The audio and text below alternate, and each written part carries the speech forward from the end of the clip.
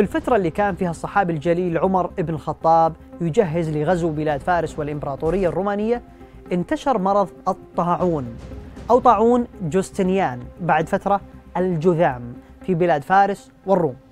وبسبب التجارة والتنقلات قتل المرض ما بين 30 مليون إلى 100 مليون. طبعا هذا المرض انتشر بسبب الفئران. يصيب الناس بتورم تحت الإبطين وتحت الرقبة ويصيبهم بغرغرينة ويموتون بعد فترة قليلة. إن الأرض سقيمة يا أمير المؤمنين. الطاعون بدأ في عمواس من أرض فلسطين ثم فشى في البلاد وكثر الموت. ومن ضمن أيضا الفيروسات التي انتشرت في التاريخ الإسلامي هو وباء عمواس اللي انتشر في عهد عمر بن الخطاب رضي الله عنه. عمر كان رايح من المدينة إلى الشام وهو في طريقه سمع بأخبار فيروس عمواس. سمي عمواس نسبة للمدينة التي انتشر فيها. بعد المشورة قرر العودة للمدينة فسأله أبو عبيدة عامر بن الجراح مستغربا من عمر أفرار من قدر الله؟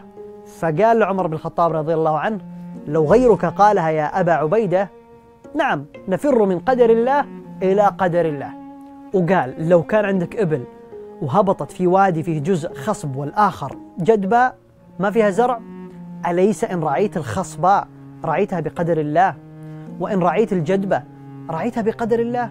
وجاهم عبد الرحمن بن عوف وقال سمعت رسول الله صلى الله عليه وسلم يقول إذا سمعتم بهذا الوباء ببلد فلا تقدموا عليه وإذا وقع وأنتم به فلا تخرجوا فرارا منه. فشوف الحكمة النبوية اللي إحنا اليوم قاعدين نطبقها.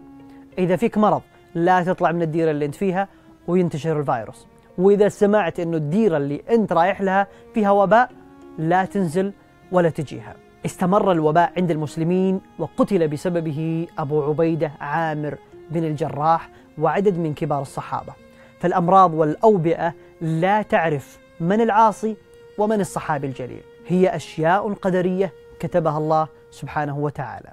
ومات أيضا بسبب هذا الفيروس يزيد بن أبي سفيان الذي كان يحكم الشام. وصعد للحكم هنا معاوية بن أبي سفيان.